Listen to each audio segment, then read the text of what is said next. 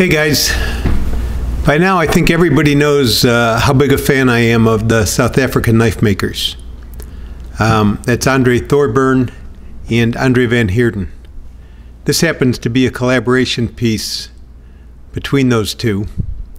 It's a they've they've created a uh, company that handles their their project uh, the knives they do in project together called A2 Knives and this happens to be what they call the premium A3 flipper.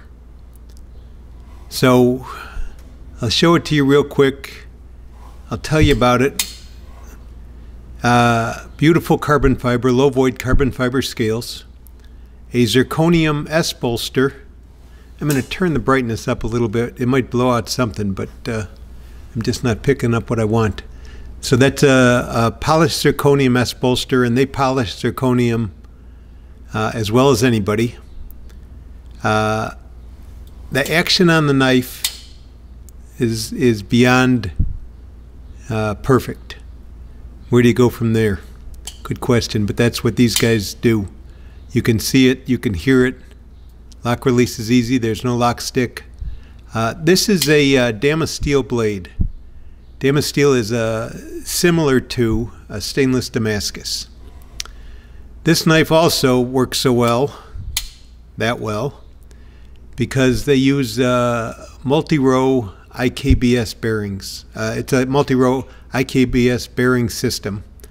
I believe uh, one of the Andres told me there's 90 bearings operating this uh, uh, this blade anyway, it works like uh, like nothing, like nothing else you've handled. Well, let put it another way, uh, nothing could work better.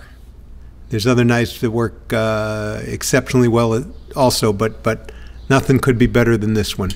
Um, you couldn't fail if you wanted to.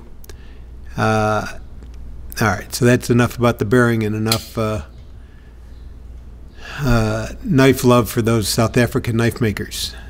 Um, hollow ground blade, uh, fit and finish is second to nobody. You can look at the tolerances, you can look at the uh, the polish, you can look at everything. That's uh, a fingerprint. Um, it's it's absolutely 100% perfect. Another interesting thing. Hang on, I'll be right back.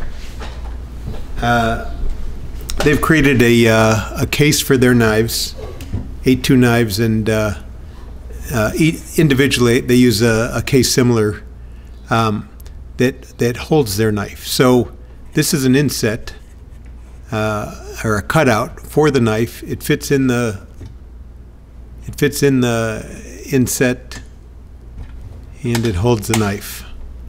Anyway, it's just uh, kind of goes a little farther towards defining uh, how much these guys care about their work and the quality and the perception and uh, everything else. All right, guys. Thanks for watching.